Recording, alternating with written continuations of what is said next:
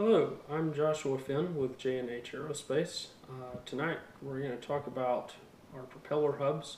I've received some requests uh, for more information on how to adjust uh, variable pitch propeller hubs for indoor model airplanes, uh, both our hubs and uh, those produced uh, privately and, and through Von Traeger and so on. Um, so you can see me surrounded by airplanes with variable pitch propeller hubs. We're going to talk about what the uh, what the concept is, why you would want a variable pitch propeller hub, um, and, and how to operate them. Uh, this is an old F1D propeller hub uh, from oh about uh, four or five years ago. Um, uh, would, would be where the when this one dates from. Um, this is um, probably about uh, sixty percent heavier than what we're producing nowadays. Um, it provides you with the, the basic operating concept. The, the, the concept is that you have this low pitch setting that allows you to operate the propeller um, at, at, at, a low torque setting uh, and, and, be able to climb on that. Um, but if you're in a, uh, a site other than a, a very, very low ceiling, this setup, as you pack more turns into your rubber motor to, to fly longer, is just going to punch you into the ceiling and you're going to be bouncing around up, up there not really accomplishing anything or potentially even get hung up. Uh, so you can turn that, uh, that higher torque section of the flight into uh, more time and also keep you out of uh, obstructions by having the propeller able to shift up to a, a higher pitch at the beginning of the flight. So that slows the propeller down. Um, does not do it by stalling it. There is a stalling angle of attack you can hit on these uh, on these propeller blades, uh, and at that point, basically, the propeller uh, really stops uh, producing significant thrust. So you always want to stay below whatever that angle is. There's there's some angle at which these these propellers just they, they stop working, uh, and each blade design and pitch distribution is different. Um, but that being said, uh, what this enables you to do is is slow the propeller down so it takes longer to unwind and it, it uh, allows you to climb up very efficiently. And uh, typically what will happen um, because the uh, torque curve on the spring is, is more or less linear and the rubber motor has a um, much highly nonlinear torque curve uh, what you'll do is you'll climb up uh, almost to the ceiling and allow the airplane to fall back slightly. So the, uh, the propeller drops, the, the torque drops below uh, that which uh, the propeller can uh, produce enough power to climb at that setting. Uh, and then this little spring allows the, uh, the propeller to start dropping its pitch. So at that point you will, um, once you drop down to, to this lower torque, um, after you have, have leveled out, um, then you you gradually let the propeller come down in its pitch, um, and eventually the airplane starts climbing back up uh, and then you'll gain that remaining one third of, um, of your available altitude.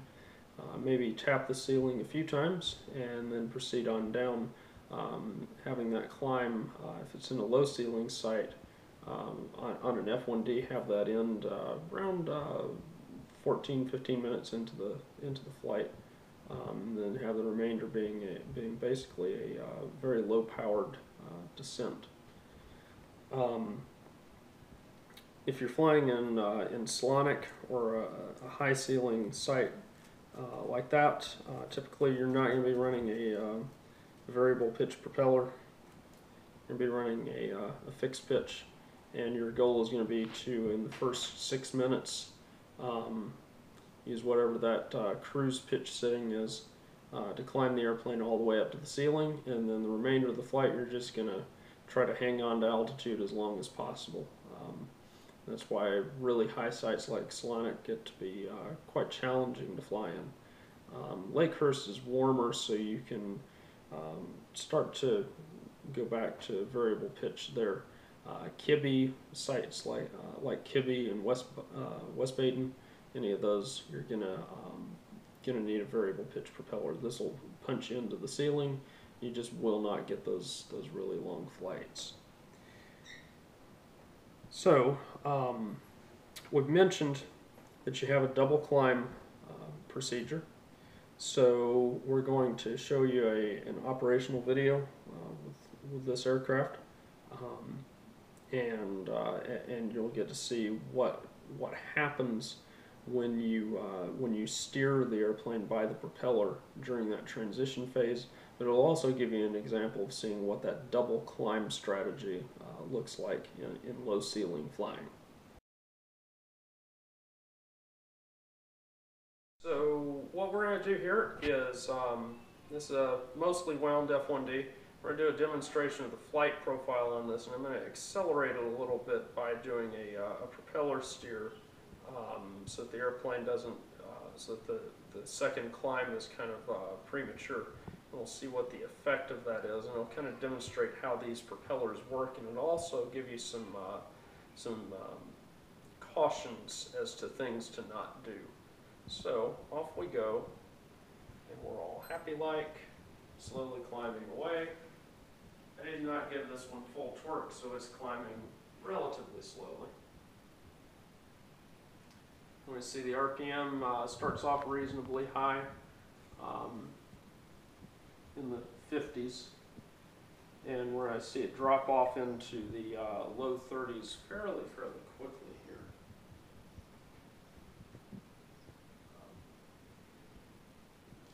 So you notice the airplane's already beginning to lose altitude. Uh, we're about 30 seconds in, so for a Cat 1 uh, flight, we look for about two minutes of climb. We're on a quarter motor, uh, 30 seconds. And now I'm going to do a uh, quick steer and watch what happens. Notice the RPM picks up very, very dramatically. The airplane climbs away a second time. And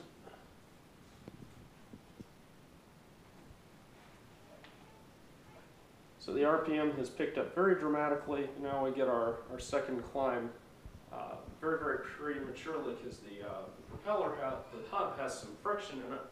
Um, this is not one of the hubs we sell. This is an older design mine. It has some friction in it. Uh, so when you steer by the propeller at that transition point, uh, the, the propeller will stick into low pitch and it uh, will climb very, very prematurely. So then you jump right back up into the ceiling when you steer by the propeller like that. So it's great for demo purposes. But the problem that you see here is you're wasting energy already climbing up there. So if you have to steer by the propeller, you want to avoid doing it during this uh, that transition phase uh, on, on propeller hub, where you'll climb back up into the ceiling. And if you're like at the Kibbie Dome or something like that, in addition to burning off all those turns, you run the risk of getting stuck up there in the rafters. And so we see, of course, the, uh, the rest of the flight is um, truncated somewhat. The airplane's already uh, prematurely on its way back down because it's used up all of that available energy. Um, so you, you abbreviate, abbreviate your flight uh, tremendously because you're uh, really in this point, you, you know, you're running at twice the RPM you should have uh, should have been on that uh, that phase of the um, the torque curve. So let me uh, let this airplane circle back around to me here, and we'll uh, continue some of this.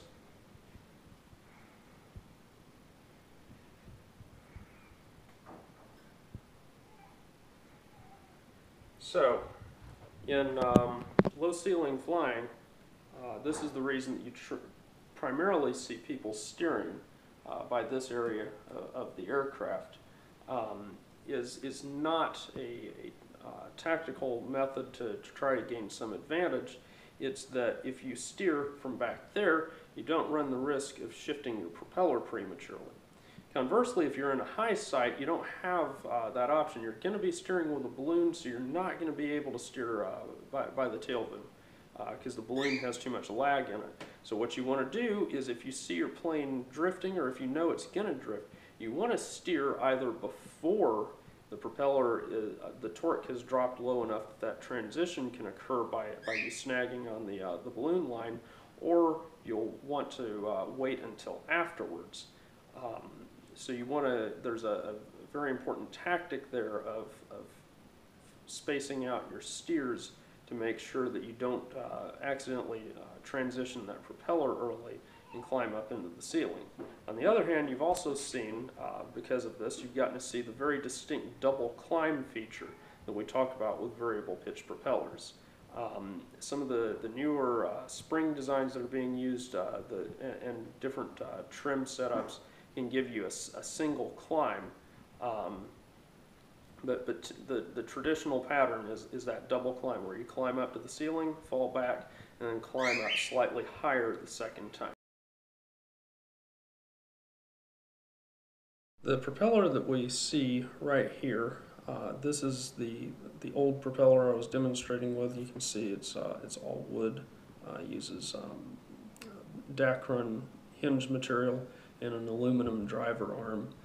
This is the the propeller hub that we're currently selling for F1Ds. This is uh, this little tiny thing right here. This is uh, our F1R hub.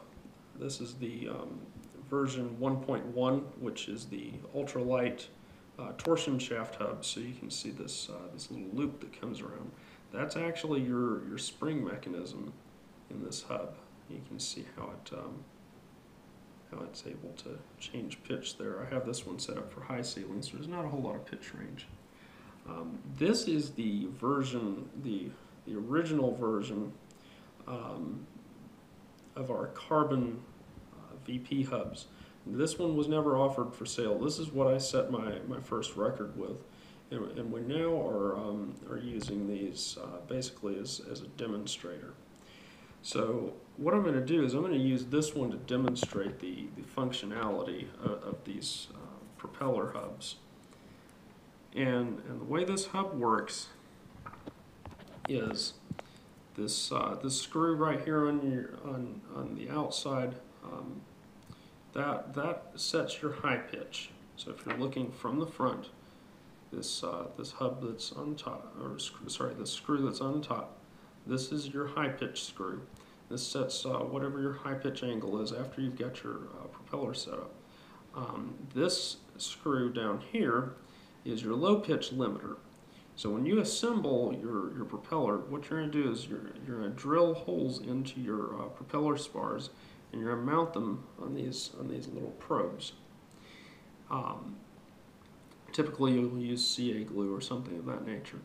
And the the setting that we supply the hubs with for your low pitch, um, set attach the blades with the propeller in that mode and then you have a little bit more low pitch range if that proves to be too high of a pitch setting. Uh, but usually it, it, that, that'll give you just enough adjustment range if, if you get things kind of low. So set, the, set up the propeller about uh, 26 to 28 inches uh, geometric pitch. Um, and, and, then you'll still have an, a little bit of adjustment range. And then you can set this screw to whatever you want your high pitch limit to be. And you'll have to determine that experimentally.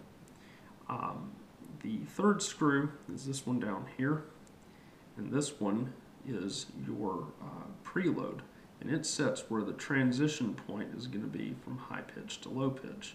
Again, that's a fairly gradual transition during the flight. We, we showed uh, a very abrupt transition earlier, but if left alone, uh, that takes place over a, period usually of about um, six to ten minutes.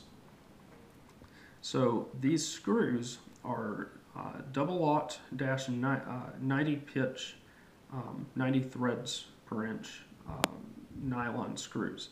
And we have cut the, the tops of the screws off so that they have a blade head.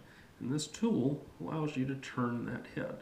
So you can adjust each of those screws using that method. Now the last thing I'm going to show you about this propeller, take this uh, propeller apart and, and we're going to, so what we're going to do is uh, this, this little retainer section has been glued on with CA and I can crack that loose. I already had it loose. So we'll set that aside. And now what we can do is we can slide the, uh, whole assembly backwards, our shaft assembly. We can set it down and we notice that it has a little bitty spring attached to it. So the spring is on top. I have a, uh, a Teflon washer underneath. I have my carbon driver arm, and I always want to be mindful of the, the orientation of this. Because if we notice, if we turn this, uh, this guy, The, uh, the output shaft is slightly out of line with our input shaft. It's very important because the, uh, the propeller hub itself is offset. So the axle is on one side of our, of our propeller hub. Now, the most difficult component of, of these hubs to manufacture is actually this rocker arm because it has to have the little rocker pegs and also provide our, our pitch input and whatnot and, and be very rigid. And when you purchase one of our newer hubs, you'll notice it looks much different from this. Um, and that's because we've, we've gone to a stronger design that does not have those problems. Uh, on the other side, we just have a uh, top hat bent um, piece of wire that uh, rides within this carbon tube. So we can slide everything back together. I'm not going to try to fully reassemble this hub on video. Um, and so we have our, our rocking arrangement we see right here. And this allows us to set our, our high and low pitch limits as we mentioned before. And the little spring that we have here engages into the um, this uh, preload screw and it dri is driving against this carbon driver arm. And that provides our entire uh, mechanism for this propeller. Again, we'll uh, compare that to, uh, to this propeller. Our pitch limiting occurs over here between these little wire stops.